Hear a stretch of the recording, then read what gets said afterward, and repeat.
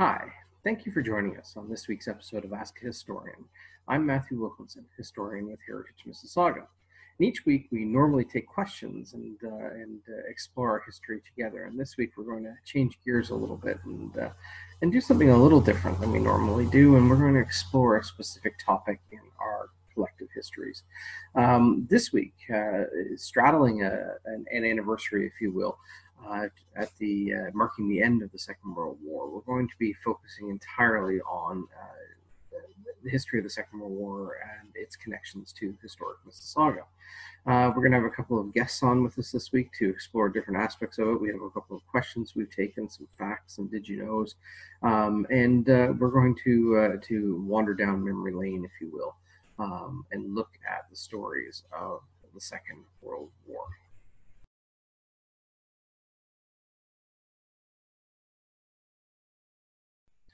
Well, on Ask a, Ask a Historian this week, it's my pleasure to welcome uh, Greg Carraro back to our, our, program here. Greg is the Vice President of Heritage Mississauga, but he's also a uh, high school teacher with the uh, Dufferin Peel Catholic District School Board uh, and uh, uh, uh, for many of you who know Greg, uh, a, true history buff, a historian in his own right, um, and a, wonderful history teacher who really does bring history to life. And uh, I've invited Greg on to our program today to talk about the the the teaching of um, and our connecting to as as residents within the modern city, within as Canadian citizens today, connecting to the theme of the Second World War um, and and what it is that it can teach us and and and uh, and, and how we learn from these moments in time. So, uh, Greg, thank you for joining us, and uh, and uh, really look forward to kind of sharing your insights. Uh, I, I, mean, you live and breathe history in the classroom. I've I've, I've seen you,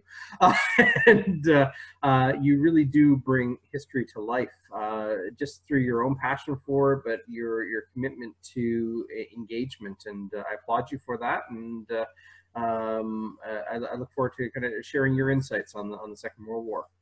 Thank you for having me on again, Matthew. So, uh, what is it that? Uh, this, uh, how do you approach the Second World War in uh, a, a, teaching perspective? Uh, what what what kind of what, what inroads do you take to to introduce the subject? Uh, well, I, I generally you know, part of the course is taught chronologically, and the other half, the other part is, is thematic, and it's sort of uh, a, a, culmination of uh, the events that occurred during the interwar periods. So at the end of World War One, and then the 20s and 30s, and how the events, both social and economic, in those interwar periods led to the Second World War, and particularly, of course, from a Canadian perspective.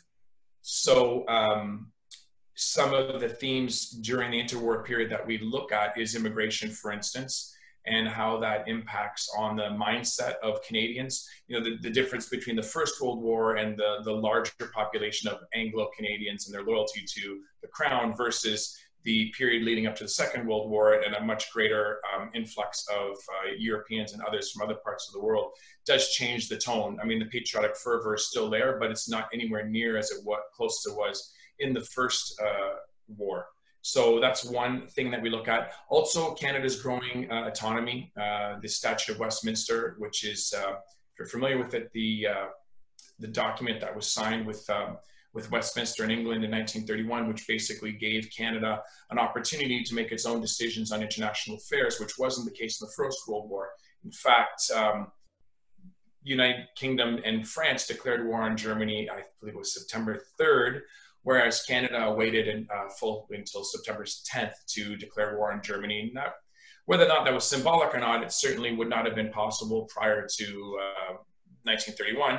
So these are some of the, the things that we're looking at uh, leading up to the war and introducing the war. How, how do you uh, approach uh, uh, the topic of the political picture, I guess, for lack of a better word. I mean, we haven't really touched on the, the greater picture of uh, the rise of Nazi Germany and and and Hitler within our discussions in in uh, in this topic. And really, we tend to look at it more from a local perspective of of those that went and served and fell. But uh, you have uh, you alluded to kind of that uh, the first the fervor of the First World War that was that that rush of uh, patriotism of uh, defending Mother Britain and uh, uh, the war. Uh, you know, Canadians were were British uh, in that sense. Um, how how do you how does the, the, the broader picture of the political news make its way into what you teach today? You mean comparing it to, to, to today or how? Oh, no, I... no, uh, sorry. Uh, yeah, sorry. Maybe misspoke that. I, I just well, because I do that as well. Okay, oh, you do. Fair enough. Uh, but introducing the subjects of Nazism, uh, if that's the right term, I'm not sure. Of the Nazi uh, fascism. I, I generally approach it. Fascism. Um, well, again, before I begin the Second World War, and in that interwar period, particularly in the 1930s. Um, I, I, look at uh, extremism in Canada. I look at the uh, anti-Semitism in places like in Quebec. Uh, you know, uh, government uh, policy discriminating against Jews, for instance, and, and, immigrants from Eastern Europe. And the same is, I, I also look at the Christie Pitts riots in Toronto, which occurred prior to the start of the Second World War, which pitted um, Toronto's immigrant population, predominantly uh, the Jews, but also the Italians, against the Anglo population of Toronto, it culminated in a riot by Christie Pitts after a baseball game in which a, uh, a Nazi banner was unfurled uh, and uh, led to a, a day-long uh, running riot throughout that part of the city. So um, it's and, and I, I, also have to add and i do remind the students that this second world war and you know the the chamberlain's kind of um, peace in our time comment we look at that and my students laugh and go what a dummy didn't they know but he wasn't alone in his um, beliefs that germany was just trying to recoup its losses and oh they were treated too harshly after the first world war. And besides none of us really like immigrants. We're all xenophobic. And um, i mean there was a, a, very healthy dose of xenophobia in canada at the time. Um, and you know there's no coincidence that um, hitler was also t- uh, time life's man of the year in 1936 or 37 following the munich olympics. And so there was um, I don't know if sympathy is the right word, but at the very least, a, a, certain amount of apathy regarding extremism elsewhere in the world because we had our fair share here. And of course, we know that even once the war begins, we know that. Um, my apologies. Um, we we even know that uh, during the war, the internment of Japanese Canadians and to a lesser degree Italian Canadians demonstrates definitely uh, some form of uh, prejudice, if not outright racism. So um, again, that's one way in which the political and the social is kind of woven in. I don't know if that was. Oh, I, I, do. Thank you for that because I, I, often think we we tend to view history through, uh, in a general sense, through rose-colored glasses sometimes, and we think, you know, the things that happen elsewhere don't happen here. And uh, um, if you accept the the light, uh, if you will, the light side of history, or the or the the, the, the, the the, the, the, happier side, you have to accept the elements of darkness too. And uh, and the War Measures Act, the internment of Japanese Canadians, um, as you mentioned, also they weren't alone in that, but predominantly Japanese Canadians were interned. Uh, Italian and some Eastern European uh, as well tied into that, um, but you know it does it does create uh, a different perspective when you look back in time and start to think about what happened here at home. And then you also mentioned about making parallels to today's world, and I'm sure you do that.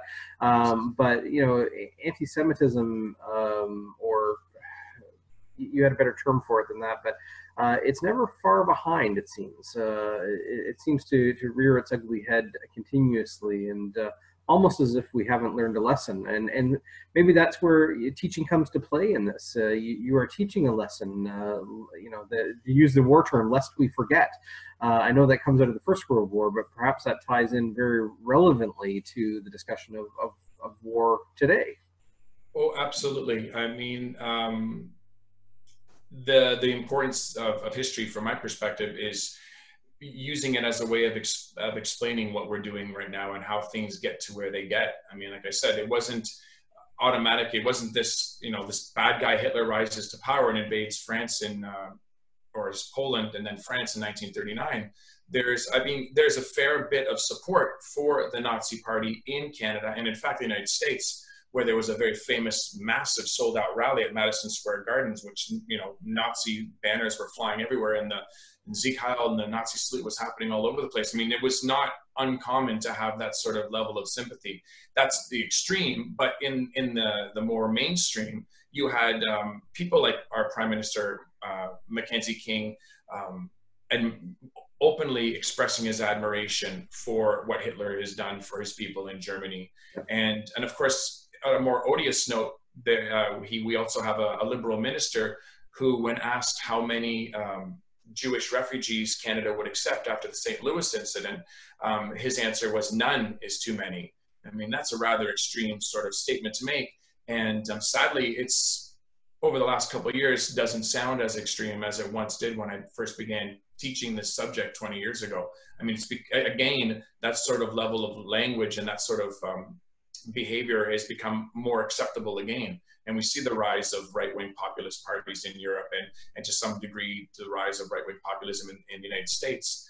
And so again, it's yeah, history is repeating itself. We're not we're not uh, willing to learn from the mistakes of the past, and uh, and that's something that I always try to highlight. Well, I, I mean, kudos to you because I think that's the that that is the onus on us as community historians today to make sure that we do remember the paths that we've already walked. Um, the uh, to jump back into our, our, our, primary subject for, for this episode and, and the Second World War, um, you mentioned you both approach it from a timeline perspective and a thematic perspective. Uh, I'm interested in, in kind of a, a, timeline for our listeners today to kind of, um, and I'm, I'm, not sure I'm putting you on the spot a bit for this, but uh, from Canada's involvement for September. What was that? Sorry.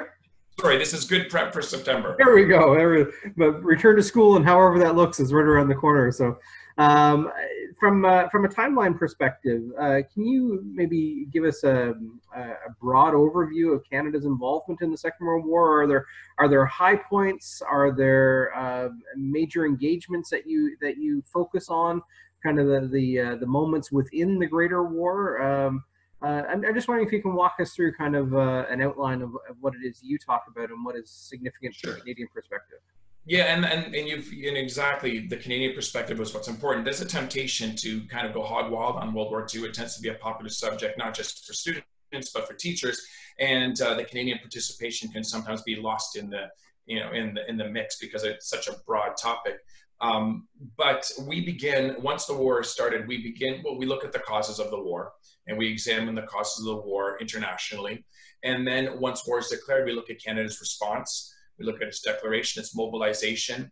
We uh, look at the, the total war theory, the idea that all industry and basically what Canada did in declaring uh, the War Measures Act was uh, martial law. And this gave the government unprecedented powers to control every aspect of society and the economy in Canada to prepare uh, itself on a war footing. And so we, we take a look at that and, and, and, and with little hints of um, how that might be abused going forward, a little kind of um, foreshadowing there. But um, we look at the home front and the war effort. Uh, so then the role of families and recycling and, and reusing and, and, all those sorts of things, victory gardens and all those sorts of things. Um, with regard to the war itself, um, after we discuss mobilization, we do focus. I I choose uh, battles that are significant battles, but particularly significant battles that involve Canada. Everything from the uh, the Battle of the Atlantic, which spans the duration of the war, and Canada's role as uh, convoy, uh, providing the convoys for the uh, shipments coming from North America to Europe. And we uh, look at, of course, Juno Beach and D-Day. We look at Ortona. We look at um, the liberation of Holland and um, and so we, we do touch on several major battles. We also touch on the losses, and you know we just recently um, uh, commemorated the uh, the Battle of Dieppe, which happened earlier on this week in 1943, and so we discussed that as well. And um, I'm always mindful of being able to um, bring these soldiers to life.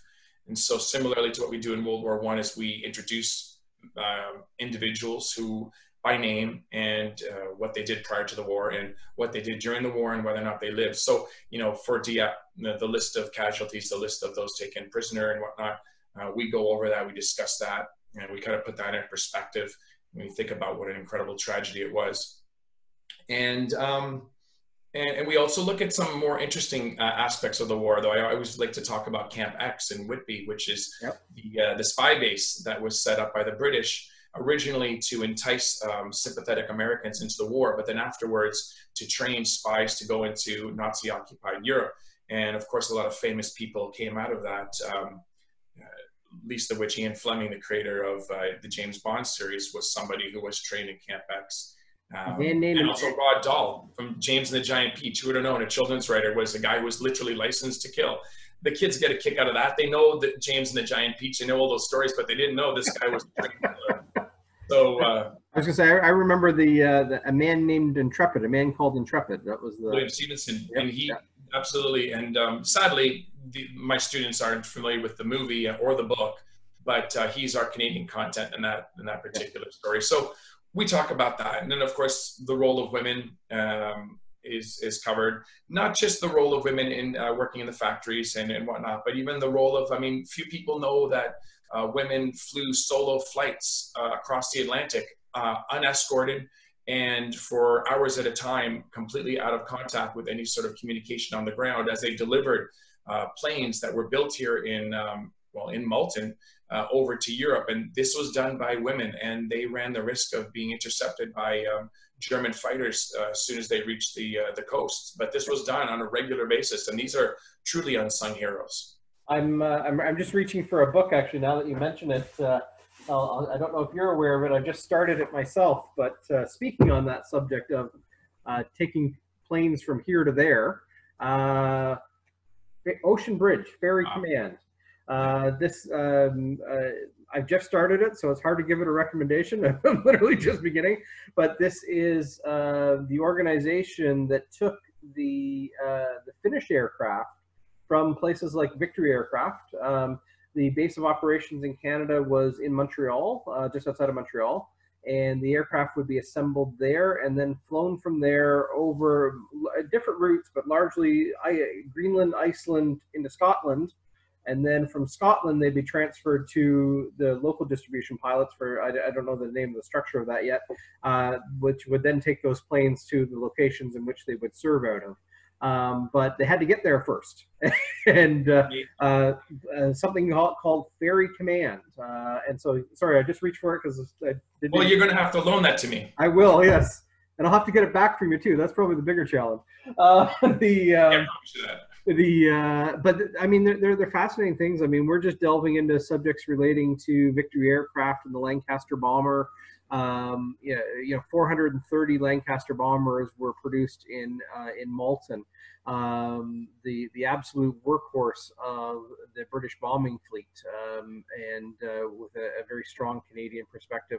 Um, and of course, we have Small Arms Limited in, in, Mississauga as well. And just you know to mention briefly, but uh, uh, in your teachings. Um, uh, and, and in, sorry, I preface it a little bit. In my own understanding of the war, my own education, it, it largely focuses on Europe. Um, and you know the the the, the fight against Nazi Germany and uh, and the Axis powers and, and the like and um, but my own knowledge is is, is paled in, uh, it pales when it comes to uh, the Pacific War and against Japan. Do you touch on that in your in your teachings as well? And yeah, it's and unfortunately it's part of the the kind of downside of Canada's involvement. We talk about the um, the attack on Hong Kong. Uh, which is in around uh, the time of the attack on Pearl Harbor, differing by only one day. And we look at the Winnipeg Rifles and the regiments that uh, served on Hong Kong Island during that time. Um, and we also talk about the Battle of the Atlantic. Um, like I said, I, I, tend to focus on the um, Canadian contribution. And there, while there was uh, participation of Canadian troops in other theaters of war, to a limited degree in places like India and whatnot as well. The the major um, participation was in Europe. That's where we we began uh, with the invasion of Italy. In fact, is where Canada began its um, its its involvement in in the war. Uh, so outside of Hong Kong and uh, a few other minor engagements in South Asia.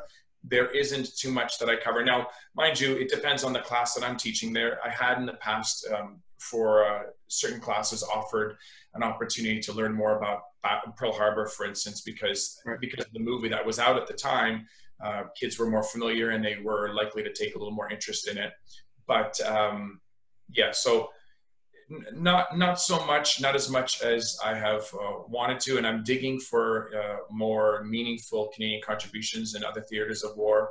Uh, I hope to do that a little bit more in the future, but as it stands, no, it is largely uh, Europe and Western Europe as Adam. Um, of course, yeah. I mean, you have uh, the Mediterranean as well, and. Uh, mm-hmm. Uh, well, that's yeah. With the invasion of Italy, um, Sicily, and Ortona and whatnot, we we do cover that as well. You have uh, just to share with you, and I know I've done this in the past with the First World War, and I look forward to doing this with you and, and other teachers regarding the Second World War. Uh, we've identified from Mississauga 89 fallen uh, to date uh, for the Second World War.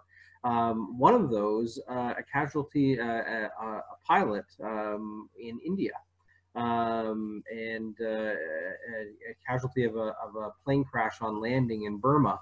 Um, it begs the question, you know, uh, what was his job there? Uh, and, and we'll actually explore that in another segment on today's program. So you got to stay tuned because we're going to talk about uh, the, this pilot and, and kind of the, uh, the, these broader connections. Again, we, we, we, often think in terms of Europe for obvious reasons, um, but uh, there are those those broader connections, like you said, Hong Kong and you know, uh, there were uh, Canadian ships involved in the uh, in, in the Pacific and uh, and the sailors therein, and so you, you, I mean, it, it's it, it's it truly is a world war. I mean, this mm-hmm. is this span the globe, perhaps uh, you know, in, well, not perhaps in, in, greater extent than did the First World War. Um, the the Second World War truly did span span the globe, and so we look at it. Uh, we didn't want to let this opportunity for this program go by without making recognition to the 75th anniversary of the cessation of the, of the Second World War. Um, one of the, one of the challenges I find, and, and, and, there might be a question in here, so just bear with me for a moment. Um, in the we recognize Remembrance Day uh, on November 11th uh, of each year, uh, formerly known as Armistice Day, but Remembrance Day, um, which of course connects to the armistice during the First World War and then subsequent conflicts that have taken place kind of piggyback onto that date uh, as, as national remembrance and uh, for good reason. Um, when it comes to the, the Second World War, we have multiple dates in a sense. Uh, we have the uh, VE Day, Victory in Europe, on May 8th. We have uh, uh, Canada recognizes VJ Day, Victory in Japan, or Victory in the Pacific, VP Day, uh, on August 15th. Um, the United States recognizes uh, v, VJ Day uh, on September 2nd. Um, it, different dates associated with different aspects of the war, whether it would be the, the declaration of surrender or the actual signing of the terms of surrender. Um, and, and, so, so you, you, you tend to have a singular date that's recognized in, in the First World War and then all other conflicts kind of lumped onto that. Um, where the Second World War is kind of a sliding scale in a sense. I don't know a better way of saying that. And so I, am just wondering how you connect uh, in the teaching aspect of, um, of, of, a timeline that perhaps is uh, much more complicated than the First World War, if that makes sense. Uh, yeah, no, it isn't. It's not as cut and dried as you say in the ending. And so while I do discuss the uh, both VE Day and VJ Day, um, I, I, tend to uh, draw the war out a little bit into the Cold War unit. And um, I apologize. I need to get my phone on mute here. Um, not ready for the classroom yet. I am not ready for the classroom. but um, what I was going to say was what I do with uh, the victory in Japan is I actually I mention make mention of the dropping of the two atomic bombs in Hiroshima and Nagasaki during the unit, but then I revisit it when we look at the development of the Cold War uh, and we look at the Manhattan Project and where that goes. So um, yeah, it, there's no one day that we say this is when the war ends, and you know, in a lot of ways, World War II just transforms into another war. There really is no peace from 1945 to 1946. By 1947, the Berlin air, air uh, lift is happening, and soon after that, we hear about the Gouzenko affair. Right. So, um, so the, I mean, what I always say is that uh, old enemies renew their their hate of each other as the Soviet Union and the West uh, begin vying for world domination. Now that their common enemy, the the Nazis, have been defeated. Right. right. It's, it's sort of a continuation in that regard. Um, so there really isn't any one dramatic moment. Uh, that's that's a true sense of engaging with history, though, is that you don't nothing is encapsulated into itself. You always draw these connections. Uh, uh, stories influence other stories, people influence other people. The borders are artificial things in, in many ways, and uh, so are timelines, so are date stamps. Uh, I mean, I, I, made reference to November 11th as Armistice Day. Well, that was not the end of the First World War either. First World War is not ending until June of 1919 when the actual peace treaty is signed, and then some would suggest that the First World War led into the Second World War because of the restrictions placed on Germany. So yeah, you you you know we do live in this fluid timeline. So it's hard to say you know that this is a put a, a date stamp on it. But again, uh, you know, connecting to uh, I guess for lack of a better word. 2020, regardless of how you look at individual dates, is the 75th anniversary of uh, moments within the Second World War that were celebrated as the ending of that particular conflict. Um, and those are significant, I think, in in the larger sense of Canadian participation. And uh, I mean, you can make some argument, perhaps, to the emergence of a national identity, which would lead its way, you know, within I don't know, I'm not good with math, but about 12 years later, into the development of our own flag, mm-hmm. um, and uh, you know what it was to be Canadian and being something different than being British. Yeah, well, and I mean, even our, our separate role in uh, in D-Day, you know, with Juno Beach and um, and, and and the role of our our statesmen, let's say at the time, our statesmen uh, post-war in developing a new Europe. I mean, we had um, we had developed a, a very strong diplomatic corps, uh, very respected diplomatic corps at that time.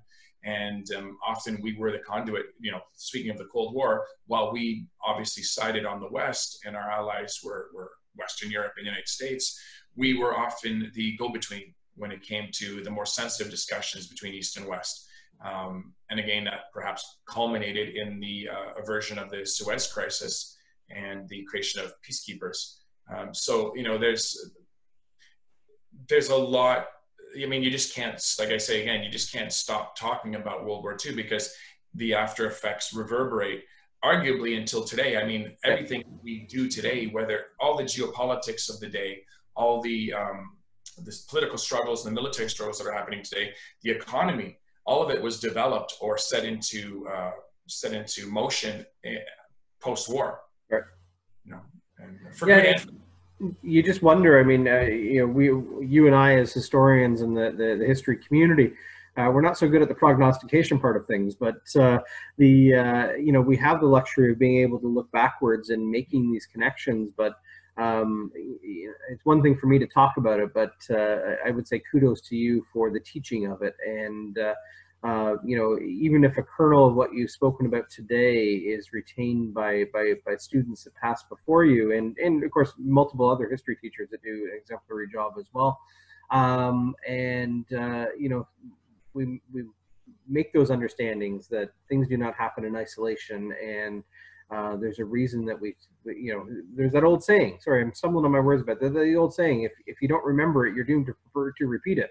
Oh, absolutely. Um, sometimes when you do remember it, you still repeat it. So it's kind of, uh, you know, modern politics uh, can play into that as well. So, but kudos to you, and and I really appreciate. Um, uh, is there anything else you wanted to add? Because uh, well, you, you, you actually just reminded me of one element when you were speaking of, you know, it's it's the nature of Canada's participation in the war was such that a majority of the conversation centered around Western Europe, as it did in the First World War. However, um, my school being situated where it is is a highly multicultural area, and so I'm speaking to a class in front of me that uh, is representative of the entire world. Now, the war was, as you had uh, acknowledged, uh, a, a, truly world war. So, um, what I attempt to do to engage those students is yes, talk about the Canadian participation, um, but I also, you know, focus on those parts of the world in which my students come from and at least discuss it a bit. So, I mean, we have a very large Filipino community. We talk about the Filipino experience during the war. Um, we have kids from uh, North Africa. We talk about the war in North Africa. So there, there's definitely, while there's not always a, a direct Canadian link to various developments and events during the war, there is a way of me demonstrating to the students that they in fact have a history that does go back to the war regardless of where they came from. So um, that's important that i do that. I feel it's very important that i engage them in something that is meaningful to them and uh, not some kind of far off abstract idea. I, I, always the, the Ontario Heritage Trust has a magazine called History Matters, and you know what what a great byline. But you know, history does matter, but individual stories that connect to that history matter as well. And and uh, um, that's part of the Canadian identity because it, it is not something that's arrested in time. And and uh, you know, again, kudos to you for involving the youth of today, regardless of their own backgrounds, into the story that is is a Canadian story, but is also wider than a Canadian story and uh, equally of value and equally uh, part of uh, you know, telling and remembering the significant moment in our in our collective histories. So. Um, thank you. I, I, I, thank you for your time. Um, thank you for your passion and your knowledge and being willing to share it. I, you know, that's it's one thing to have the knowledge, but it's another thing to share it. Uh, and uh, and uh, you know, being an enthusiastic supporter of, uh, of, of, of, doing these kind of, of outreach things. And but we'll look on having you on in a, in a short period again to, to talk about uh, the First World War. But uh, for today, thank you so much, and and look forward to chatting again. And good luck prepping for school. I know it's around the corner, and you yes. probably don't want to think about it. And um, more particularly in the times that we're in. Um, be well, be healthy, and be safe as you, as you go back. And uh, to everyone who's listening, the same. Uh, uh be well, and uh, um, uh, hopefully we can uh, find some solace in wandering down memory lane and exploring history together. So, well, thank you. I can tell you that teaching the Spanish influenza is going to have a lot more gravitas this time around than it had in previous years. I think students are going to appreciate it a lot more. Are you starting with that in September? well, we do do it quite early on. We do early on. It seems so, like an appropriate back to school topic right now. I feel like leading with it, but uh, definitely it's something that we discussed very early on in the year. But I thank you very much for having me. I look forward to uh, joining you again. This was a great, uh, great time. Awesome. Thank you, Greg.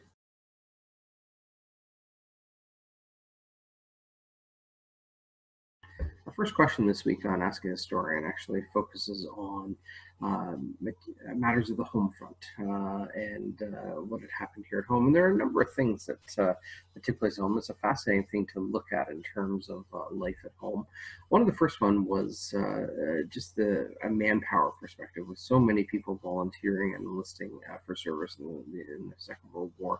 Much like the First World War, there was a shortage of farm labor, and historic Mississauga was uh, very much uh, a rural farming community at that time. Um, and it developed programs like farm cadets and farmerettes that brought students out from the urban areas in the summertime to help as farm hands. Uh, Mississauga was home also uh, through the Cooksville Brickyard, which was at Mavis and Dundas Street, to a small German prisoner of war uh, camp for um, um, members of the German Merchant Marine. Um, there's also just from uh, just impacts at home. Uh, there was a shortage of food products like butter, coffee, meat, and sugar. Uh, there were recycling initiatives uh, such as aluminum and scrap metal. Aluminum was used for something known as window screening, which uh, for, for pilots engaged in, in bombing raids over enemy territory, window screening was, was a lifesaver, literally. Um, a box of recycled tin foil shredded into tiny pieces would be slowly jettisoned from an airplane, a bomber uh, flying over the English Channel. Um, and the falling pieces of the aluminum would confuse enemy radar. Um, ration books became a, a, part of daily life uh, in order to uh, regulate the purchase of materials. Uh, ration books were introduced in 1941. Uh, for example, a pound of hamburger in 1941, you'd have to give the grocer a ration coupon that that proved that you could afford that amount, and then pay the required price. Some rationing rates: uh, six ounces of butter per week per family, a half pound of a choice meat per week per family, or two and a half pounds of a cheap cut of meat per week, and uh, and so on. But ration books were, were introduced in, in 1941. Maybe one of the most uh, important initiatives during the uh, Second World War was gas rationing, gasoline rationing. Um, strict rationing wasn't implemented until 1942, but beginning in 1941, uh, the sale of gas was restricted between 7 a.m. and 7 p.m. Uh, on April 1st, 1942, gas rationing was, was introduced through ration books, and uh, also the nationwide speed limit was lowered uh, to 40 miles per hour or 65 kilometers an hour. Um, Canadians were encouraged to carpool, uh, ride buses, walk or bike uh, to save on the gas consumption. Civilian bus trips were restricted to destinations within eight kilometers of their starting point. Uh, in the first year of gas rationing, that was again 1942, Canadians were able to curb their consumption of gas by 150 million gallons. Uh, incredible when you think of those things. Um, something known as the Air Raid Protection Organization was created in 1941, uh, working in partnership with the Red Cross. They conducted first aid courses, educated the public on civil defense initiatives, enforced blackout conditions, and conducted air raid drills. The most important element of an air raid drill was total and complete darkness. Uh, heavy curtains to block out any light. Cars would pull off the road and, and, and turn off their headlights. There would be wardens ensuring people that uh, ensuring people cooperated with with the blackout drills. Um, and that might seem far from home, but there were air raid sirens in historic Mississauga. We've documented one at the corner, uh, having existed at one point at the corner of Lakeshore Road and uh, and Dixie Road. Um, and so the ARP or the Air Raid Protection Organization we know was active in historic Mississauga. Um, one of our, our more well-known uh, tidbits, and uh, we have a question on this later, and we'll expand on it, was uh, uh home children, uh, children being sent uh, to safety out of Britain in fear of the Blitz, residing or, or, coming to reside in historic Mississauga, and we'll, we'll talk about that a little bit later on in the program. Japanese internment, um, Japanese Canadians through the War Measures Act were, were, were seen as undesirable uh, residents or uh, enemy aliens, despite there being no evidence to support that whatsoever. Uh, several places within uh, historic Mississauga, the Hancock Woodlands, the Clarkson Fruit Market, the Sheridan Nurseries, became uh, destination points and uh, for um, Japanese interned or displaced Japanese Canadians, um, and they would work on those properties, earning a wage, but uh, having moved inland and um, most of whom losing their homes and, uh, and, and, properties and businesses and the like through through again the the uh, the War Measures Act. Um, Malton Airport and Victory Aircraft were significant in uh, development of, of uh, the war effort at home on the home front. Um, Victory Aircraft uh, was established in 1942 out of uh, what was known as the National Steel Car Company, um, and they were principally involved in the development of heavy bombers uh, for the war effort overseas. Uh, Mississauga was also home to the Commonwealth Air Training Plan, also in the Malton Airport. Uh, cadets from air forces uh, in Australia, New Zealand, Canada, Britain, Poland, Norway, Belgium, and uh, Free French uh, also trained here under the auspices of the RAF. the number one elementary flying school and the number one air observer school were located in Malton on Airport Road, just south of Derry Road. Uh, back to Victory Aircraft, uh, again, Crown Corporation formed in 1942, uh, developed heavy bombers for the Second World War, including the Lancaster bomber. A total of 430 bombers were produced at the Victory Aircraft plant in Malton. Um, the factory reached its production, uh, reached its peak uh, in 1943-44, and as many as 9,700 workers, a good third of whom were women, um, really uh, the, the company played a, uh, a role in the changing uh, changing dynamics, if you will, of women in the workforce during the Second World War. Uh, and along that theme, there's also the Dominion Small Arms Limited, and we remember that on our landscape today by the the, uh, the Small Arms building down on Lakeshore Road at the foot of Dixie Road. Uh, the, the, Dominion Small Arms Limited uh, Munitions Factory began in 1941, and by 1943, the company employed 5,500 employees working in three shifts, producing 30,000 uh, units a month. Principally, their workforce was women, and they were from all over Canada. Uh, there were uh, uh, pre, prefabricated homes built for them in the community. There was a women's dormitory across the street. Um, and over the course of the war, the company employed over 14,000 workers producing 900,000 Lee Enfield number four rifles and 126,000 Mark II Sten submachine guns, uh, as well as uh, many other weapons and ammunition to support the war effort overseas.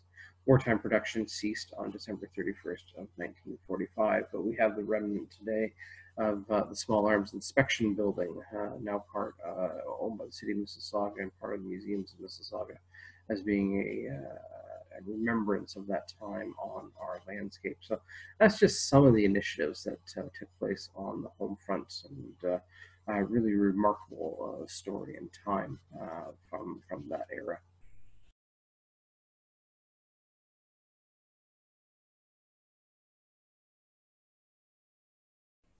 Thank you, Lena, for the question on uh, St. Hilda's All Girls School during the Second World War.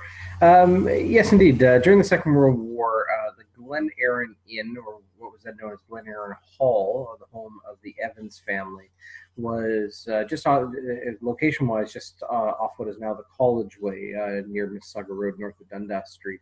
Um, St. Hilda's School itself, um, uh, in, uh, in 1940, uh, 1941, during the height of the Blitz in Britain, uh, British parents often sent their children to Canada and other colonies across the Dominion for reasons of safety. Um, they were referred, uh, referred to as home children. One of the most prominent stories of home children, at least locally, was out of St. Hilda's School and its relocation to Erindale. Uh, St. Hilda's was a girls' boarding school uh, in the town of Whitby uh, on the northeastern coast of England. It was decided by the school staff and the, and the parents uh, that the entire school, which included 160, 160 girls between the ages of 6 and 16, 12 teachers, and 27 boys, would relocate to Canada. Uh, Mary Evans, uh, an Erindale resident, offered her country home, Glen Erin Hall, uh, now the Glen Erin Inn, uh, to the school as a resident, uh, residence and teaching facility. The school accepted the offer, although it wasn't enough space for all the students. Uh, 70 girls and eight teachers were sent to Glen Erin Hall in Erindale. Uh, and the rest of the students, uh, students were scattered throughout private residences elsewhere in Ontario and Quebec. Um, throughout the war, the students lived a routine life in Erindale. In addition to their studies, they played winter sports, uh, they shopped at local stores, they attended Sunday services at St. Peter's Anglican Church in Erindale, uh, they put on a, a, uh, a, victory bond and fundraising rally at an Erindale Community Hall. They just they became members of the community, and uh, we've talked to many residents uh, of uh, in Erindale over the years that remember the time that St. Hilda's students were in Erindale. Uh, the St. Uh, Hilda's students remained in Erindale until 1944, uh, when German forces had been pushed back uh, into the into the continent. It was deemed safe for them to return. Uh, so for about two and a half years, uh, St. Hilda's uh, Girls' School from uh, from Whitby near Hornby, England, were housed at the Glen Erin Inn in in historic Mississauga in Erindale, and attended St. Peter's Anglican Church just across the road and up the hill. For, for, them, so just a neat connection to kind of the local terms. We have a couple pictures of them as well, but um, a short-lived moment in time in which St. Hilda's Girls' School uh, from England made its home in historic Mississauga during the Second World War.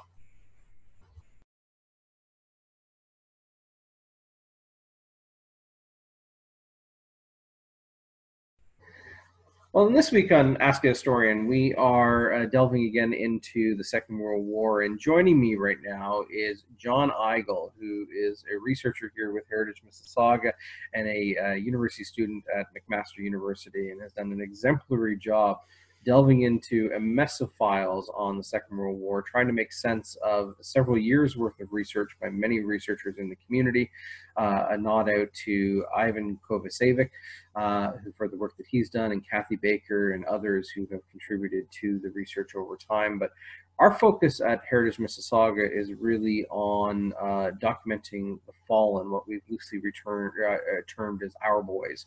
Um, uh, starting with the First World War, uh, we didn't work chronologically necessarily, but from the First World War, we delved into uh, the Northwest and Riel rebellions, uh, into the Fenian raids, uh, also the rebellion of 1837, uh, and even touched on the Boer War. But now, under John's direction and the work of, of others before him, making sense of the massive amount of material that we've uncovered and continue to uncover on the Second World War. And the important thing to remember is that it is a work in progress. Uh, and so, even as we have done this research over a number of years, uh, new stuff constantly comes to light. So it's it's almost in a sense like we're never totally done.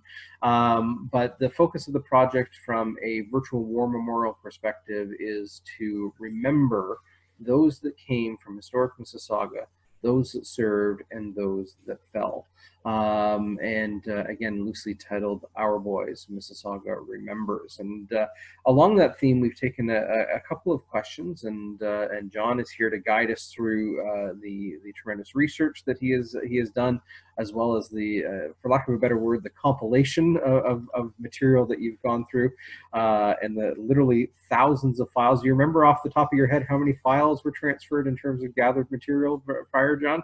I think it was just shy of 4,000 and I've brought it up closer to 10.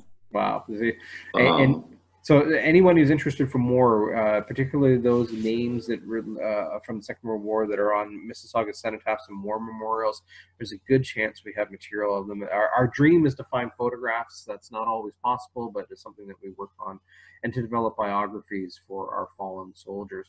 Um, so thank you, John, for joining us. And uh, yeah, my pleasure. And, uh, we'll have some fun wandering down memory lane for the Second World War. So, our 1st mm-hmm. question this week is from Darren, and uh, and uh, thank you, Darren, for reaching out to us. And uh, you're asking about uh, the fallen and uh, and the number of soldiers who served from historic Mississauga and fell from historic Mississauga. And, we're a little vague on the first on the on the on the service number, but on the fallen, we have a pretty good idea. Uh, from a national average perspective, um, there was uh, 1,159,000 uh, soldiers who uh, enlisted and served in the Canadian Army during the First World War and the Royal Canadian Air Force. Uh, 44,090 lost their lives to an average of about 4% of, uh, of soldiers did not return home. from service, we don't know the total number of enlistments, but average that you know possibly four percent again fell from historic Mississauga uh, gives us a total of 89 names. And so, John, I, I, I turn it over to you from a, a fallen perspective, if we can uh, address uh, Darren's question here this week. So, in terms of the the number of fallen we have, it's as you've said, it's definitely a work in progress. Um, and so, even even this morning, I realized that our number might be one or two off. Um, it is constantly changing, but as you said, we have we have about 89 that we can confirm for a fact. Um, and and there's really no strong like there's no one Mississauga area that stands out as a birthplace um, because I've, I found that a lot of the, the men and women came from kind of all over, be that they were born in Europe or, or various parts of, of Canada. So I mean, the one that hit the most uh, uh, common birthplace was Port Credit, but that was really only eight people that were actually born in Port Credit proper. Um, but then if you look at residents at enlistment, um, which is, is listed on uh, enlistment attestation forms. Um, Port Credit really stands out with 26, whereas the, the next closest is Lakeview at 16, and then Cookeville, Cooksville at 11. So it really isn't. There's no one huge center in Mississauga, um, and often you encounter people that lived kind of on the outskirts, like in Toronto or, or just outside Mississauga, but their family lived in Mississauga. So you have a lot of people who are on um, cenotaphs in in the Mississauga area, and you'll find newspaper mention of them coming to visit because social notes were a thing back in the time of the Second World War, right? So it's like such and such spent the weekend visiting his mother in Port Credit, right? So you know that they existed and that they have a connection, but they didn't necessarily live here. Yeah. And sometimes we don't know why a name ends up on a cenotaph either. Mm-hmm. You, you, get, I think there's some curiosities of uh, unknowns of, you know, here's a name on a, you know, say a Port Credit cenotaph, uh, yeah. but we don't, we don't understand why it's there uh, mm-hmm. that happens too.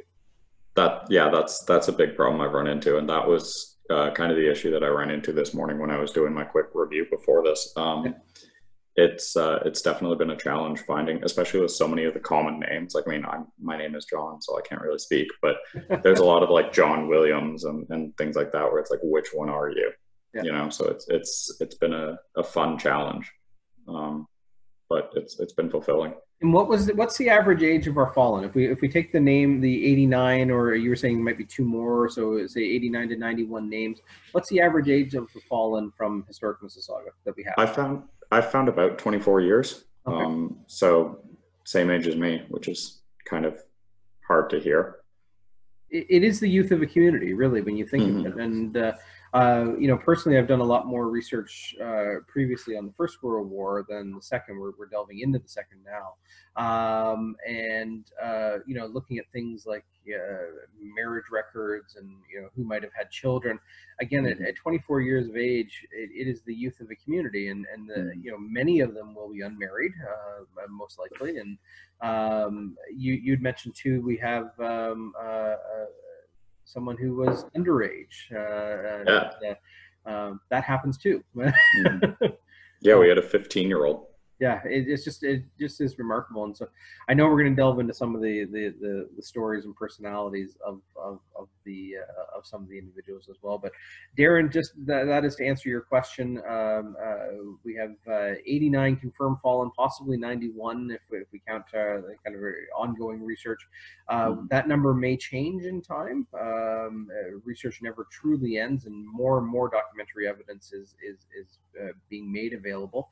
Uh, the Second World War, from a from a document perspective, is still covered within the 90 years of of, of uh, uh, kind of Freedom Protection or Information Protection Act, uh, and so we don't have the access to uh, the, the, the records that we do, such as the First World War. But but more and more is coming available. More people are are, are connecting to that anniversary. And of course, 2020 uh, marks the 75th anniversary of the cessation of the war, and we'll talk about that a little bit later as well. Um, but again, it, it is a remarkable story, and, and uh, sometimes when you throw numbers out there, they become kind of cold facts, if we, if you will. Mm-hmm. But even if we look at the 89, that is 89 young people from our community that did not return home. Um, 89 families that would have mourned those that were lost um, becomes part of the identity of this place um, and the remembrance of this place uh, and, and so that that is, something to to remember as we go forward. It's not just statistics. Um, every one of those names is is a life, is a family, is a friend, is a brother, is a son, is a, is in some cases uh, uh, daughters as well, um, and uh, very much uh, something to remember and to pay respects for as we develop the, the, the virtual war memorial perspective. So thank you, Darren, for your question and. Um, uh, we look forward to sharing more with you.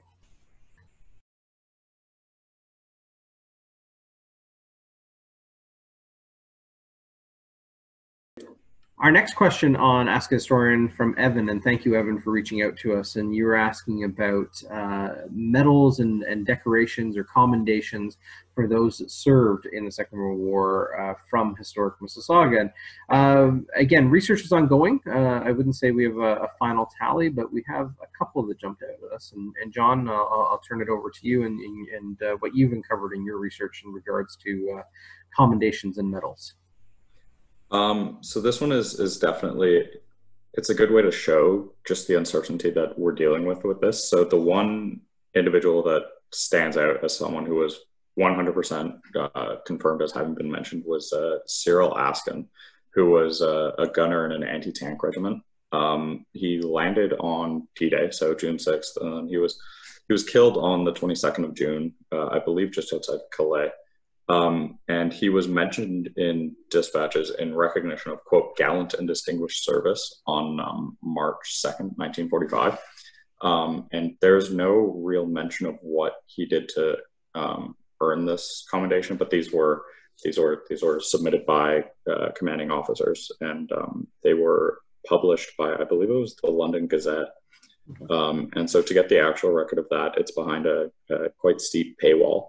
Um, so I've done everything else I can. Um, that's the best we know about him. He was born in 1907 in Erindale, um, April 30th. Um, and then the other two that jumped out at me during my research were um, George Bailey, who actually survived the war. Um, he lived to be about 90 in in uh, Streetsville. Um, he survived the war, was mentioned in dispatches, and received the Distinguished Service Order, um, DSO. Yeah. And then and then there's there's I like to call him the mysterious David or Davis Thompson, who I've been completely unable to track down in any certainty. Uh, it seems my predecessors have had similar struggles. He uh, was mentioned in dispatches. Um, I know it was his service number that was mentioned in dispatches, but there's confusion in the sense that he was he was about I believe it was 17 in 1918, um, and there's some documentation that leads me to suspect that he tried to serve in the First World War and was sent home, like he was found out and sent back home. Okay. Um, so it's it's it's very difficult to track down because there's mention of him of a of a name having served very briefly in the First World War, and then that happening, um, and then he's casually mentioned in dispatches once in the Second World War, but it's it's very murky. I can't. I've been unable to find any firm documentation on him. So one of the, the fun things we can do with a program such as this is to throw it out to our audience, mm-hmm. uh, not only in terms of Cyril Askin, who we do have documentation for, but you know we lack kind of the specifics on um, what he was his, uh, his, his recognition was for, um, mm-hmm. and if indeed he lost his life as a result of whatever whatever he had done in terms of his gallant service. We we, we don't know the, the circumstances of the actual uh, recognition, um, but mm-hmm. also to the unknowns, uh, to Davis slash David Thompson, um, and uh, you know what can our audience, if anyone has gathered that information, share with us? So, uh, Evan, I apologize, it's not maybe a, a conclusive answer, um, and and maybe yet more to come. Um, but that's the nature of a research project that is ongoing, and and uh, we, we look to uncover uncover more. Um, and you know, one of the things we're, we're not touching on today, uh, but perhaps in future episodes, are maybe some of the, the, the specific moments in time during the First World War, like like Juno Beach. Um, mm-hmm. uh, Mississauga soldiers were at Juno Beach and uh, and uh, and the Normandy landings, and um, you know that that uh, significant moment of the the change of the tide, if you will, in terms of the of, of the war in Europe.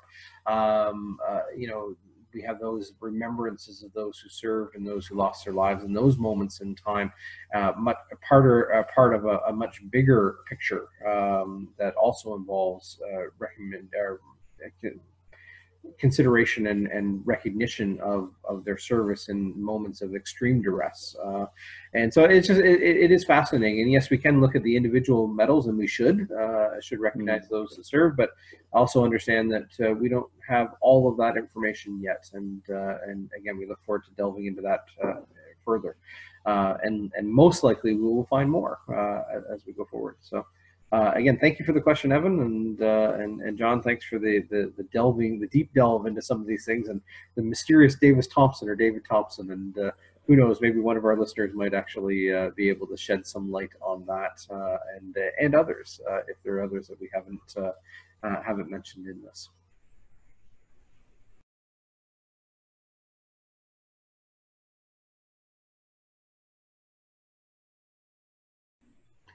Our next segment this week is uh, changing gears a little bit again, and uh, we're going to offer some uh, quick and uh, quick facts of history relating to the Second World War, uh, kind of uh, did you knows or unusual facts that that John has uncovered in, in his tremendous research. and so I'm going to turn it over to John, and we've got five things that John has pulled out as being absolutely fascinating to him. Um, and he's going to share them with us. So uh, five did you knows on the on the Second World War connecting to historic Mississauga. And over to you, John. So to begin with, um, I thought it would be cool to talk about our uh, our Indigenous fallen. Um, so we had two individuals who happened to be from the same reserve. So they were from the Alderville First Nation Reserve up near uh, Cobourg. Um, their names were Rifleman Arthur William Beaver and Sergeant Wilburn Chubb. Um, they both lived in Clarkson um, Wilburn, who who was lovingly named or, or known as Whip, um, he he worked on a farm for I believe it was about 15 years just outside of Clarkson. Um, he lived in the area with his wife and, and uh, children. Um, his wife's name was Jessie, I believe, um, and then Arthur Beaver. He and his brother both lived in Clarkson. I don't know if they lived together, but they were both in Clarkson. Um, so Arthur Beaver served with the Queen's Own Rifles. he was killed near Calais.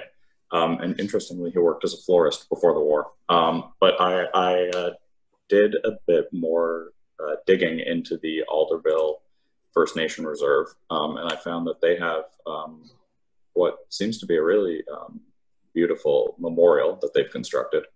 Um, it's a big uh, stand. And they had, in addition to Arthur and Wilburn, they had another 60 individuals who served during the Second World War, which 60. I don't 60. Um, I don't I don't know the population of the reserve, um, but it it currently it's it's very small. Like it's it's around 1,200 people, I think. So um, I don't, as I said, I don't know how the population has changed, but um, that's a significant portion of their population. Um, and it's it's I thought I thought the fact that um, Wilburn uh, Chubb, who had, had, he served with the Irish Regiment of Canada and died of wounds in Italy. Um, both of these men were injured at least once, like significantly injured in combat before they were later killed. Um, so they were clearly tough individuals who could keep up the fight. Um, but I found it interesting that uh, Chubb worked his way up to the rank of sergeant as an Indigenous individual, um, which in, in the 20th century can only have been a, quite the feat um, for an, an, individual of color to uh, achieve that recognition. So I thought that was worth noting. And they both appear on the Port Credit Cenotaph, I believe you said? Uh, yes, I believe so. Yeah. Yeah. Um, yeah, they, well, they were so just to just to jump in, I always think of war memorials and cenotaphs in a way as a kind of cheat sheets of history in a sense. Mm-hmm. I mean, they offer the names of individuals. They don't offer the the imagery or the personality or bi- biography, but they, they give you a name, they give you a starting point.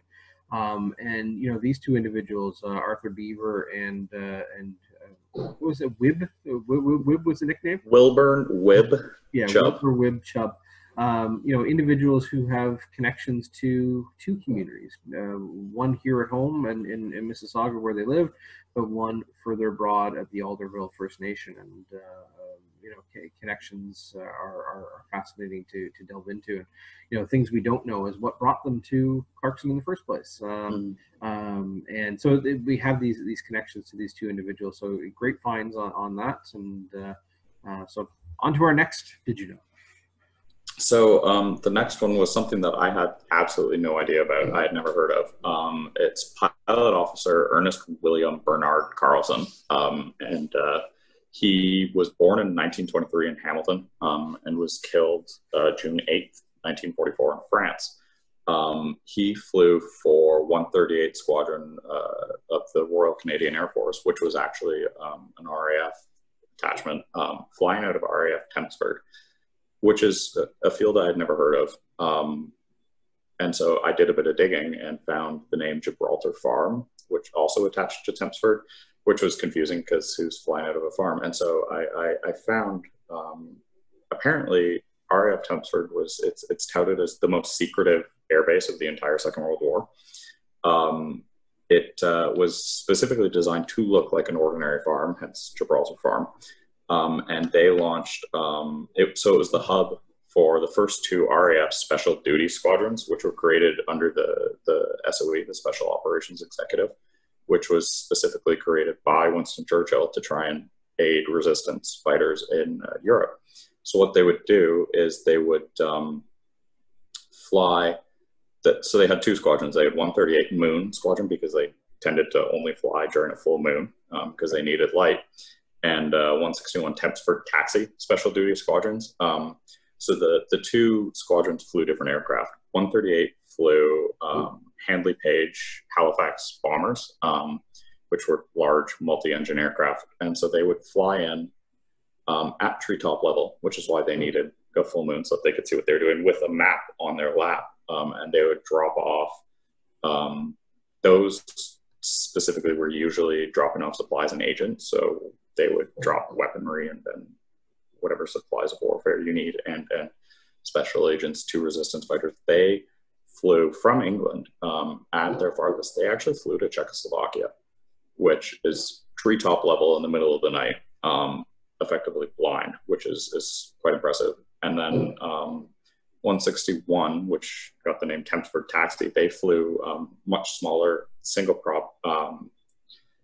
Westland Lysanders, which um, had a uh, a permanently uh, affixed metal ladder hanging out the side of it. So what it would do is it would they would drop down onto it could take off and land in the size of about a football field.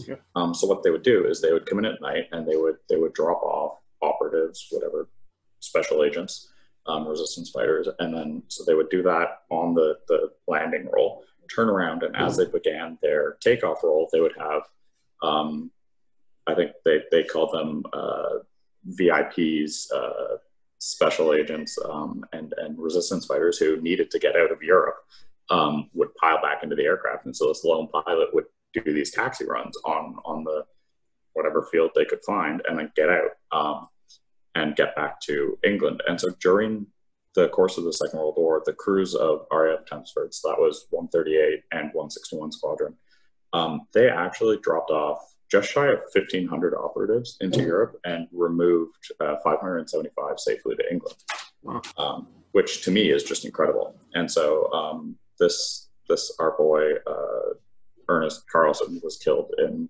June 8th. Um, because of the secrecy surrounding it all, I'm not sure if that was on his way there or on his return. Um, but he did go down with a with a rather full crew. So So was he was he in uh, one of the, uh, the the the Halifax bombers, or was he? In, yeah, in the the okay. Handley Page Halifax. Yeah, Yeah. yeah. yeah. Um, and where was uh, you mentioned he was born in Hamilton, I believe. Uh, Yeah. Uh, where was uh, did he reside in historic Mississauga or family here? Or Yeah, he had family. He's on the port credit cenotaph. He had three brothers and six sisters, so it's there was there was lots of family all over the place. And um, and, and again, uh, pilots the, the the rate of attrition for pilots was much higher than the uh, the infantrymen. Is Mhm. is is hard to classify uh, sacrifice in that sense, but Mhm. uh, even just in training exercises. Yeah. Okay, so on on to our third fact. Um, so another another aviation related one, and I kind of picked this one because um, it it emphasizes both the home front and and the war effort abroad, um, and specifically it, it it's in relation to Victory aircraft, which I know you're working on. Yep. Um, so this is Sergeant George Douglas Lees. Um, he was a, a gunner in a Lancaster Mark One. Um, the the ME seven seven hundred and thirty. So if, if you ever want to look into it. Um, but his wife, um, they were from Sudbury, but his wife, in all likelihood, worked at Victory Aircraft in Malton. Um, she's listed as working at a, at a war factory in Malton um, during the time of the war. Yep. Um, and so he was he was downed uh, over Germany on a on, during a raid on Schweinfurt, um, which I'm sure I butchered the pronunciation of. Um, and it, it his was very much kind of your cut and dry.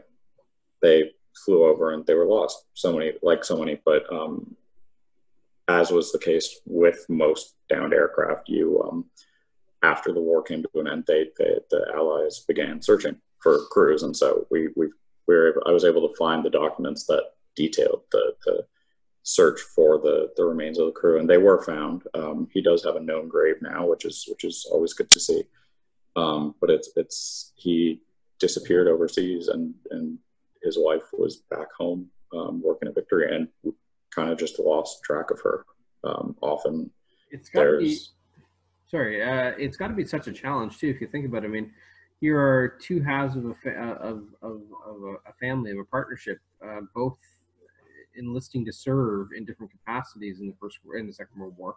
One on the home front um, in wartime production, and the other overseas, and yet linked in the sense that you know, if she indeed is working at Victory Aircraft, which we believe because it makes sense from the geography and from the reference to Winston Hall and, and others, she's producing the aircraft that he is flying um, and that he is lost in. And so, it, you know, there, there has to be uh, there, there's a resonance there. There's a story there to be told. And, and you know, you wonder, like myself, I'm looking into the production of, of the aircraft and the, the operation of Victory Aircraft, but news of lost aircraft would have reached home too. And so Mhm. the, the, sense of pride and ownership in developing these aircraft, but you, you also have to extrapolate that there must have been a sense of tremendous loss for those that were building these aircraft to know that some were not returning home. Um, and uh, I, I know there was name christening ceremonies and fanfare at the rollout of aircraft. At at their height, Victory Aircraft was producing one bomber a day. Um, they produced 430 bombers for the overseas effort uh, uh, over 100 of them were lost in action. So you're you're just uh, it's it's an amazing number when you think about it. But you wonder also at the human cost, uh, not only in terms of loss but also just emotions uh, at home. Um, and these people, like uh, like his wife, uh, what was her name? the um, I let me pull it up. Sorry. Yeah, sorry, my apologies. I'm putting you on the spot. I'll find it. We have two pictures of him, so that's good. always good to see. Um, Margaret Elaine Lees. Margaret Elaine Lees. So Margaret Elaine, uh, not from here, born in Sudbury. Uh, um, I don't know if she was born in Sudbury, but they were living in Sudbury. He was born in Blind River. Okay, so not far, not far. That's up in the up in northern Ontario. So yeah, uh, but but regardless, not from here, but came to work here, came to reside here for a period of time, um, became a resident of this place, um, and uh, what becomes of her, we're not entirely sure at this point. But uh, uh, nonetheless, that they have their connections here and their remembrances to this place and time during the war years, and and that's part of our story as well. What brings people here and the that that multinational perspective of employment of wartime industries. Uh, and Mississauga home, of course, to several wartime industries during the Second World War, but uh, becomes part of our our, our, our, bigger picture story of life on the home front and those connections to loss overseas uh, quite strong. All right, number four. Well, one one oh, final note sure, actually, yeah, um, in in connection to the loss at home, um, I found that through my research, often when um, a crew member is lost in a large aircraft such as this, or a Hamley, uh, a Halifax, whatever, um, they uh, the the RCAF would often send home a list of other of the other um, servicemen and and um, the contact information of their families so that there was there was a good sense of, of being able to I don't know if it was grieve as a community or, or find out more about one another. But it, it um, from a research perspective, that that I found that really um, drove home the human toll of one single aircraft going down, and it, it's also useful because I think uh, Sergeant Lees was an instance where the documentation on him wasn't very strong. Right. Um, but I was able to, through documentation on on his crew members, find a lot, find out a lot more about him um, in in passing reference. Right. So it's it's I thought that was worth noting. Um, but then, yeah, shall we move on? Please, yeah. Okay. Um, so another another flyboy, uh, Flight Officer Leonard Stewart Stockwell. Um, he was killed in Jessore, India, flying for the SOE in Burma. Um, so Stockwell was was flying for Force 136, which was something I had never heard of, because most squadrons are, are, such and such squadron, right? That you never see Force. Um, so that that piqued my interest, and I did some googling, and it turned out that they were um, conducting airdrops of agents and supplies into Japanese occupied Burma. Oh wow! Um, yeah, trying to overthrow the, the Japanese. So with with our, our interest in the, the, commemoration of the dates surrounding yeah. right now, um, I thought that would be interesting to mention. He, um, I, I really nearly missed this uh, this connection. Um, I was on what I thought was going to be the last document in the file, and I, I happened to notice that the uh, as I said, they sent home a list of people who were who were killed in the crash. Um, it, it mentioned that uh, the aircraft crashed with crashed with three British officers and three Burmese agents aboard.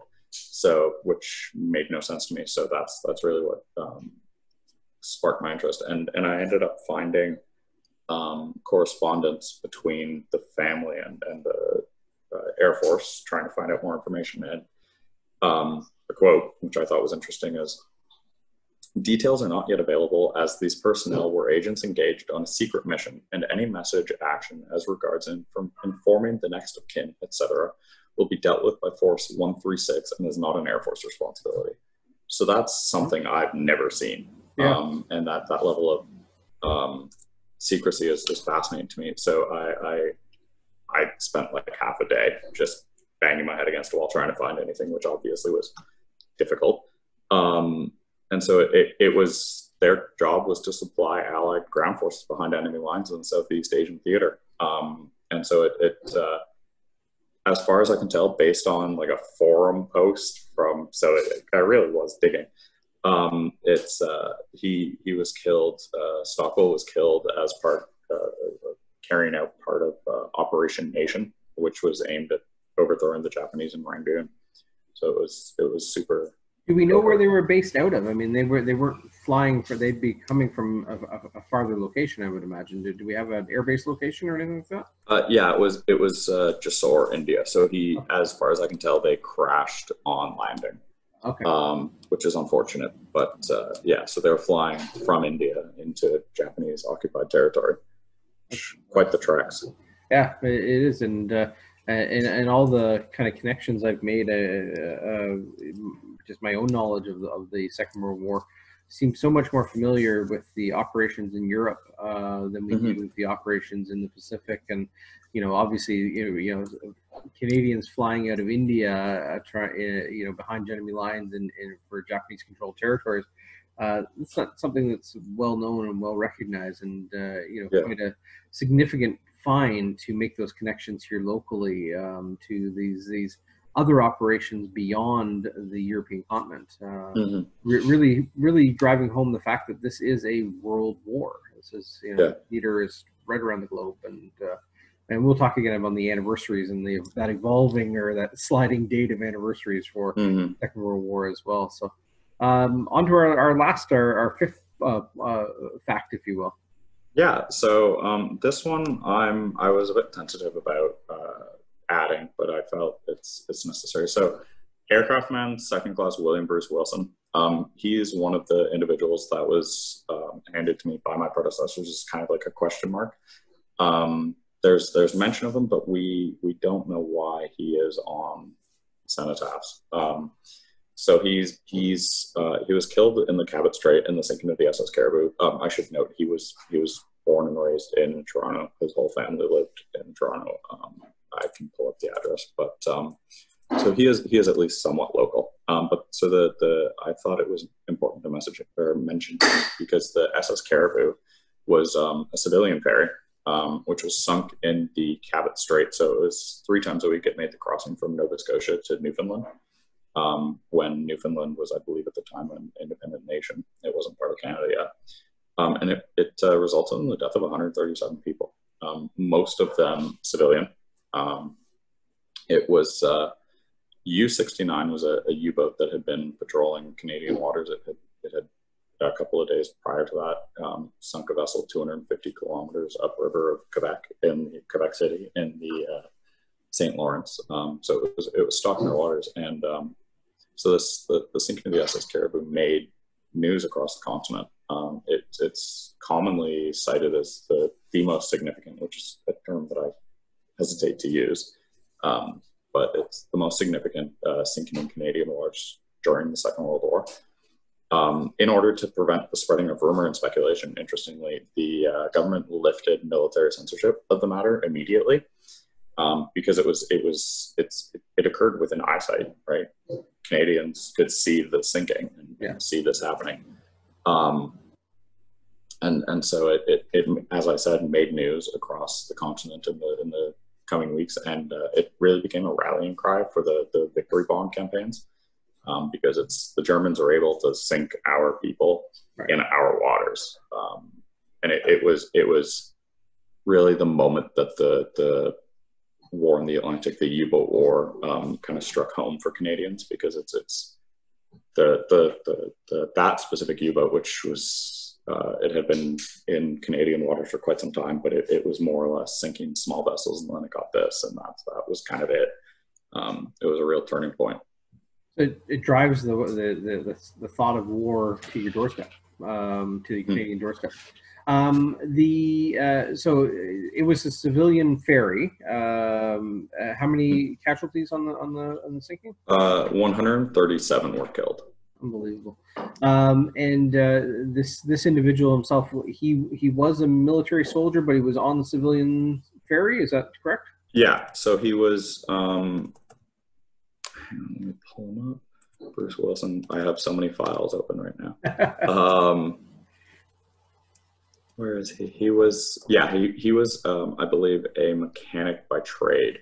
Yep. Um, and so he uh, he was he was I, I must admit I can't remember if he was in training still or, or what, but he was he was making this. It was a routine trip. Um, the vessel was making it three times a week, and it was escorted by a destroyer, okay. um, which nearly rammed the U-boat, um, but it missed. And and there was there was real controversy surrounding it because um, it spent instead of immediately going to try and rescue survivors in the water, it spent two hours pursuing the U-boat okay. which it, it had seen on the surface, um, which um, the the Canadian military was careful to defend because Right. that's that was standard operating procedure. Because if it had stopped to pick up survivors, that would it would likely itself be sunk. yeah, that would um, be the casualty next. Right. Um, Um, and this this individual, I know we don't have kind of that direct uh, knowledge of connection to Mississauga, but mhm. his name appears on our list. Uh, is his name on the cenotaph? Is that is that why? Or I believe so. Yeah. That's that's that's an issue where coronavirus has kind of made that difficult for me because normally I would have just gone and, and driven to all the cenotaphs in the area, but that's kind of frowned upon right now. Um, we know for sure he was on the Ottawa Memorial because he has no known grave. Right. Um, he- his body was lost. Um, he had he had family in the Ottawa area, but he was he was from Toronto. So um, and and he had. Sorry, go ahead. Just just saying again is that this this moment, this, this sinking of civilian ferry, regardless of uh, the nationalities or the, I guess the hometowns of those uh, involved, presumably most of them are Canadians, but um, you know it drives home the point that you aren't safe at home. Uh, this Yeah. war, this war is not just overseas. Uh, for those engaged in supporting the war effort at home, it drives it drives home the urgency. It drives home the uh, the precarious nature uh, of of uh, of a world at war. And uh, um, you know, unlike the First World War, which seemed to have that uh, that feeling that it's over there, uh, not here. I mean, the German U-boats made it abundantly clear that you were not safe uh, on your own shores. Um, and uh, this drives home the point and uh, would have had a, a, a far-reaching effect on the psyche of people. Um, uh, absolutely, I mean, horrendous and atrocious loss of life, particularly from the civilian perspective. Um, but uh, yeah, they, they just uh, baffling me to think about the, the U-boat in Canadian waters. It's kind of a, and I and I've heard of those things before too. So it's uh, Yeah. the loss of the Caribou very significant uh, in in that story of, of uh, Canadian involvement in the in the in the Second World War. Um, so thank you for the fascinating facts. There are so many more. I know we've just we're literally I don't know Mhm. the term of scratching the surface. I have a feeling we scratched the surface of scratching the surface. It's Pretty much. It's it's Uh, been a an interesting summer. And, and will uh, interesting in many ways. I mean, you, you know, Mhm. we're all working from home and doing our best, but I, I commend you Yeah. in uh, doing your best in a, in a kind of a non-traditional research sense. Uh, we, haven't been able to go to archives. We haven't been able Mhm. to physically see uh, old newspapers like the Streetsville Review and others, and uh, you know, those are those are avenues to explore later on. That's uh, again, I mentioned earlier that these projects never truly end, uh, Yeah, and, and that's this for a good sure. example of that. and, uh, but again, the tremendous amount of work that you've done with this uh, with this research and, uh, and and compiling records and making sense of records, and uh, I thank you for that. And uh, Thank you. It's been uh, been been great to see, and I'm looking forward to delving into what you've collected uh, over time as well. Oh yeah, it's left you a real mess.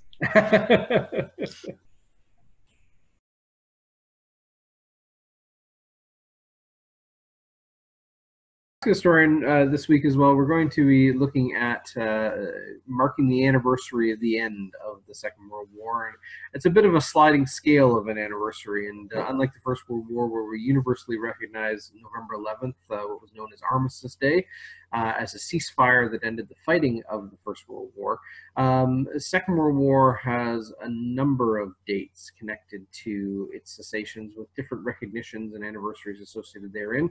Uh, regardless, 2020 does mark the 75th anniversary of the end of the Second World War, and uh, I'm going to turn it over to John to uh, kind of explain this uh, these, these these different dates uh, involved with the the cessation of hostilities um, in the world's most deadliest uh, conflict that we have yet seen. So, uh, John, if you want to uh, delve into some dates with us a little bit. So fun with dates. Um, as you said, there's there's uh, the First World War has Armistice Day, which is nice, cut and dry. Um, whereas we have so VE Day is Victory in Europe Day, which was May uh, 8th, I believe, um, with the German surrender on May 7th. But uh, Victory in Japan, so which is it's Victory over Japan Day, commonly known as VJ Day, um, often also known as VP Day for Victory Pacific Day to make it nice and confusing. Um, in the, the British Commonwealth, it's typically celebrated on August 15th, um, which is the date that um, the Western Allied powers received uh, surrender terms from Japan.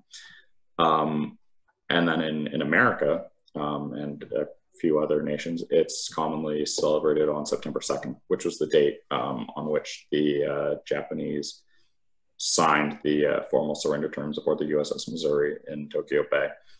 Um, to further complicate things, the due to time zone differences, the Japanese and in, in Japan local in Japan's local time actually issued their surrender, their formal surrender in uh, on August 14th.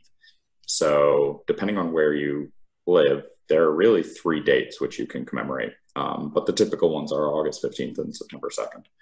Um, so it's it's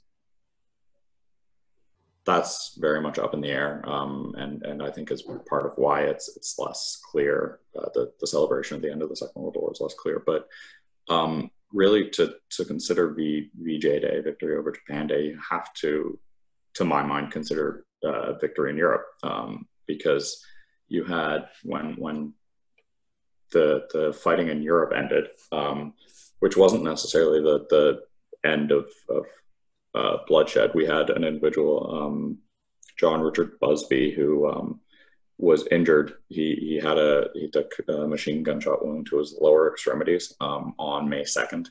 He was uh, of 1945 admitted to hospital on the seventh, and then died of his wounds on May 9th of, of um, as far as I can tell, basically blood poisoning from gangrene. Um, so he was admitted the day before the Germans surrendered and died the day after uh, Victory Europe. Um, so it, it, really wasn't the end.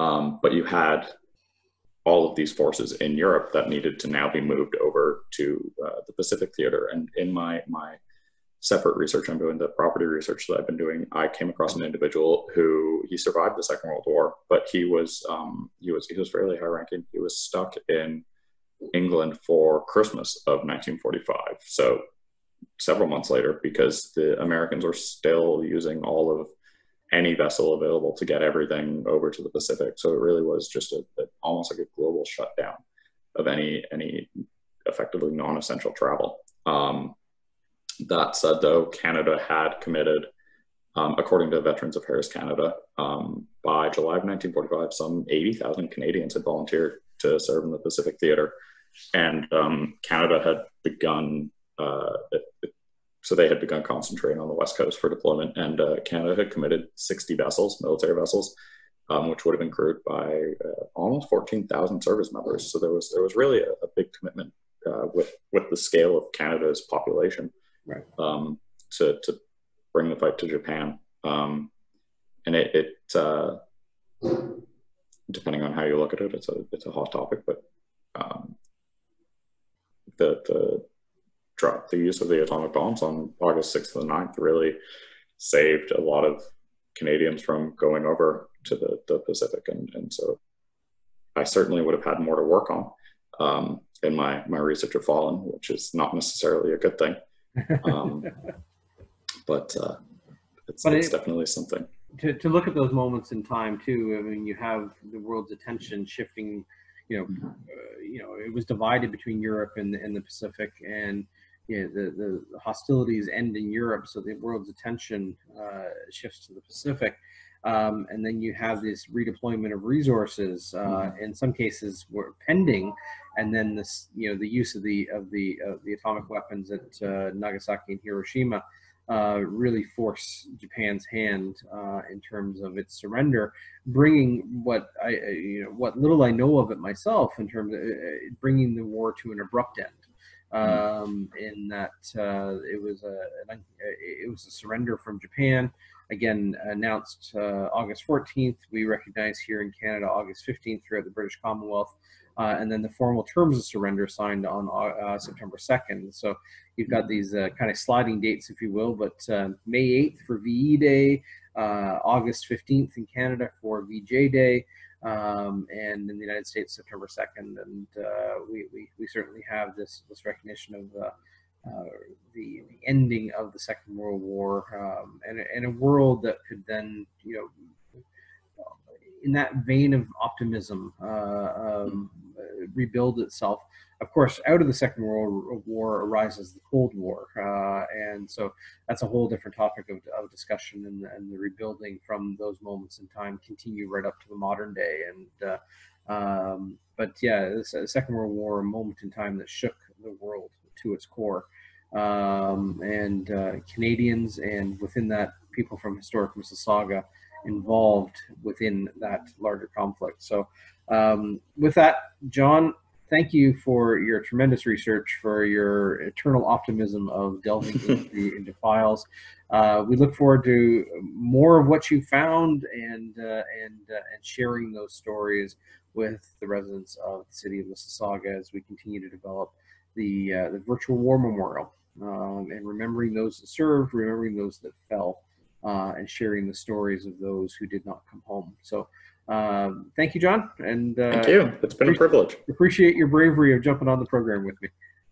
Happy to help. All right. Thanks.